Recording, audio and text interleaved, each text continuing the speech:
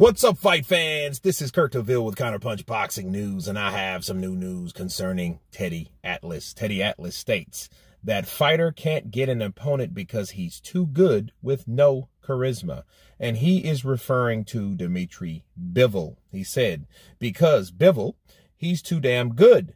And you can't get rich fighting him because as much as we know him, nobody else knows him. You walk down the street Good luck trying to find someone who can tell you who Bivol is. Good luck. Listen, he's terrific. He's one of the most complete fighters in the whole game right now. What he did with Canelo, the only travesty of that is that they actually had it uh, close as they did, but that's for another story with these crazy judges that we have in this business. He probably won 11 rounds against Canelo. Look, there are fighters out there that are too good for their own good because they just know how to do one thing win and box at an incredible level. But they don't necessarily have the charisma, the factor, whether you can call it or whether you to call it to fill a lot of the seats. And if you don't have that, well, who wants to take a risk fighting a fighter that dangerous? Those are the words of Teddy Atlas, and let me counterpunch. Um, there's some truth to that. Uh, some fighters are too good for their damn good, for their own good. I think uh, when you do have a lot of fighters that their second language is English and they speak English, but they're not they, you know, Bivol's smart. You know, I mean, he speaks probably better English than like guys like Usyk. But then see, Usyk is a guy that does have charisma. He is likable. Not saying Bivol's not likable, but it's like he's unique.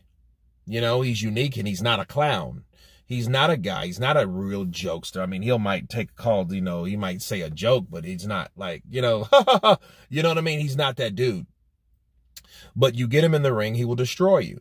Yeah, so he is too good. And I think a lot of what Teddy Atlas is saying is a guy that dangerous, a guy that good, you know, nobody really wants to get in the ring with him. But not, but what I'm getting around to, if you have a guy like that and a talent like that, it's up to the promotion or the promoter to promote him. Okay? Throw him everywhere. Get him some endorsements. You know what I'm saying? Get him on some Gatorade uh, uh, commercials or something. You know what I mean? Some some Powerade or whatever snack. You know, people need to see him. People need to you know interview him. He's been in interviews and stuff, and he's he's just like he sounds. You know, he's a Russian. He's an Asian Russian. You know what I mean? Like I don't know. You know, so it's just like. He's a good fighter, you know, like, and, and, and he's just like, almost like, okay, well, well, okay. You know, that's him, you know, he's not to be someone else. But the likability has to be there. And I, that's what Teddy Atlas is saying. That's what he's talking about. You know, and then, then he'll box your face off and give you rapid fire, uh, uh, combinations all day long, if not stop you. Okay. He's not known for a power puncher, but the guy is exciting. And I think the excitement of the ring is one part of it. And I think the promotion part of it is another. And I think as long as they have certain promotional promoters that don't, I feel, don't really give these guys much credit or do a good job with these guys like they should. That's the reason why they're not promoted the way they are. There's a reason why the promoters are the promoters.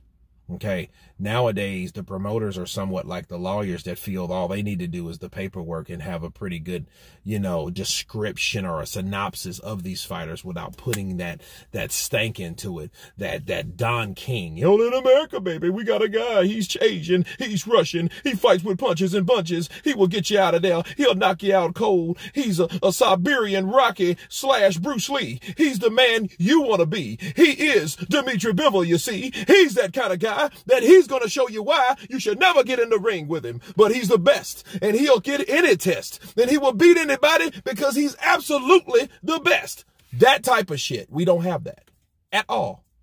Okay. So that's what Bivol needs. Not, you know, Bivol's a good fighter, one of the best fighters in the generation. We don't need that. Okay. We need someone that promotes Bivol because Bivol needs to be promoted because he's doing his fucking job. He's exciting. He throws a, a, a combinations. He is, he, you know what I mean? He doesn't give you like that, oh, boring ass performance and one, one, two, take a walk around the park, come back, one, two, part. Oh, let me hold. No. Bivens is, is in your shit from round one to round 12, from round one to round 12. That's what he does. So it's up to the promoter, his promoter, to do his job. But anyway, you guys tell me what you think of Teddy Atlas stating that Bivol has no charisma and he's just too damn good for his own good. Of course, please subscribe. And you guys been Counterpunch. Peace!